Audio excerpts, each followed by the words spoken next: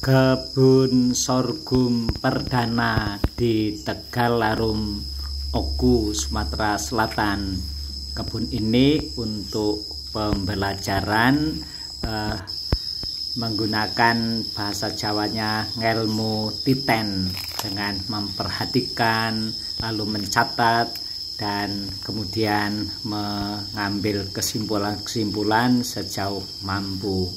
Uh, sementara ya jangan tanya sudah tanam berapa hektar tapi eh, ini di lahan ini tanya berapa batang. Nah kalau tanya berapa batang sudah ada seribu batang lebih. Lihat cantiknya cantik ini eh, kuncup tangkai bulir sorghum dan 2 Maret kemarin kita panen Uh, demikian mulai kita panen. Uh, ini di Tegalarum. Tentu saja kita bersiap dari uh, panenan ini. Sudah sekian ini. Kita bersiap menghasilkan beras sorghum perdana dari Tegal Arum.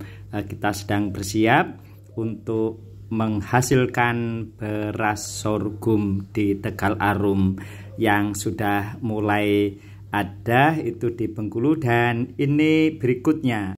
Ini contoh panenan perdana Mbak Giem Mas Yuli. Eh, ini Mas yang di Bengkulu. Beginilah menjadi gabah sorghum diproses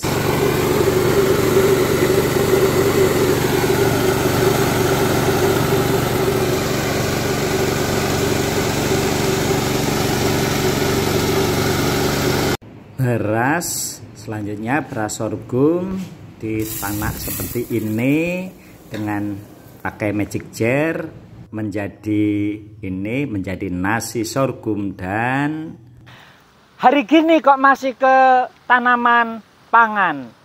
Ya kalau semuanya pengennya online pengennya beli ya kalau kemudian uh, semuanya kayak gitu nggak ada yang nanam pangan mau beli ke mana?